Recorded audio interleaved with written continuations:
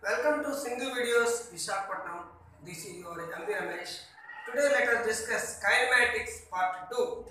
What is kinematics? Kinematics is the branch of physics which deals with the motion of the bodies without reference to the cause of motion.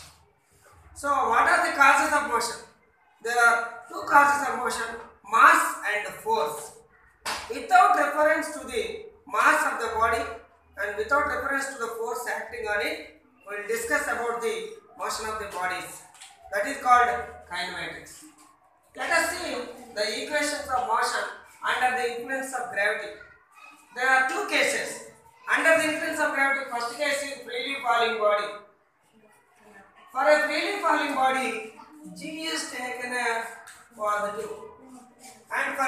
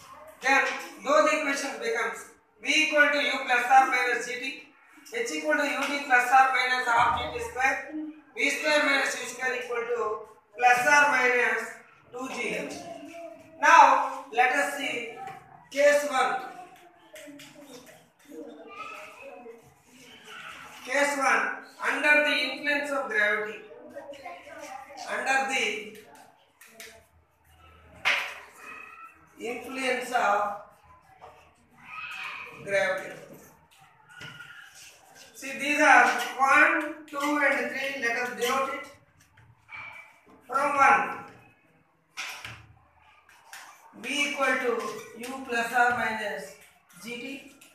For a freely falling body, for a freely falling body,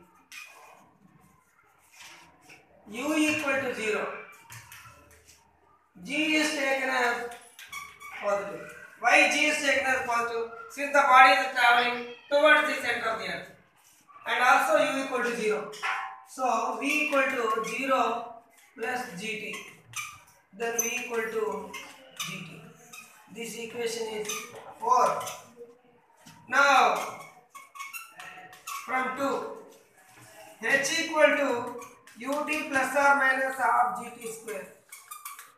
Then h equal to u means 0, 0 into t, 0. Plus or minus means positive, g is positive.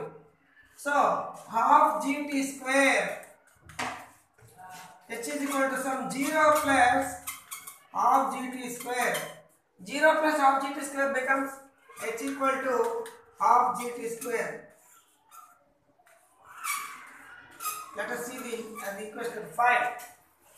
Now, from 3, v square minus u square equal to plus or minus 2gh. v square minus 0 square is equal to plus 2gh. Then v square minus 0 equal to plus 2gh. v square equal to 2gh. This is called the equation number 6. So there are three equations of motion under the influence of gravity V equal to gt, h equal to half gt square, v square equals to 2gh. Let us see case 2. Let us see case 2. Now, case 2. A body projected vertically upwards. When a body is projected vertically upwards, acceleration due to gravity g is taken as negative. Then from 1 v equal to u minus gt. From 2 h equal to ut minus half gt square. A plus or minus g becomes minus g. Here plus or minus g becomes minus g. From 3, v square minus u square is equal to minus 2gh. Plus or minus uh, 2gh becomes uh, minus 2gh. These equations are 7, 8 and 9. Now let us discuss the maximum height projected by a body when a body is projected vertically upwards. Maximum height attained A T T A I N E D attained by a body. The expression for maximum height attained by a body when a body is projected vertically upwards. Now, from the set of equations 7, 8 and 9, these are the equations of motion for a body projected vertically upwards. V equal to u minus gt, h equal to ut minus half gt square and v square minus u square equal to minus 2gh. So, we have to derive the equation h maximum is equal to u square by 2g. h maximum equal to u square by 2g. From the equation 9, from equations of freely falling body, freely falling body, v square minus u square is equal to minus 2g. That is equation number 9. Equation number 9. Here, at the maximum height, find HIGHT height, final velocity V equal to 0. Initial velocity U equal to maximum. And that at maximum height, height is equal to H maximum. Now, V square means 0 square minus u square means u square. As u is maximum, u square is maximum. Minus 2g, h means h maximum. Now, 0 minus u square equal to minus 2g, h maximum. Minus u square equal to minus 2g, h maximum. Minus and multiplying with minus 1 on both sides, both will become plus. Plus u square equal to plus 2g h maximum. Then 2g h maximum equal to u square. 2g separate it.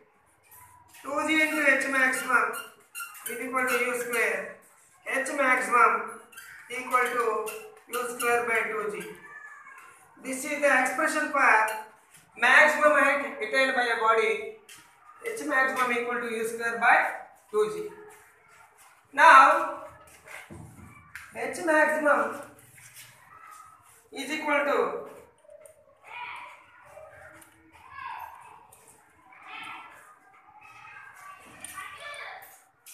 h maximum is equal to u square by 2g. That means 1 by 2g into u square. As 1 is constant, 2 is constant, g is constant, then 1 by 2g is constant.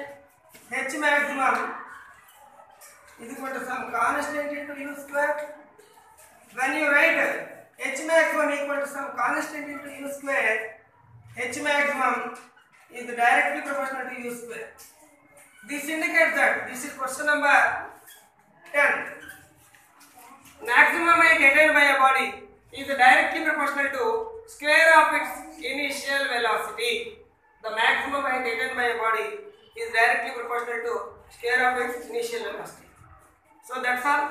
If you understand the video, you like the video, subscribe the video and forward the videos in your groups and uh, cooperate to me. Thank you. Thank you to one and all for giving me this opportunity. Thank you to one and all.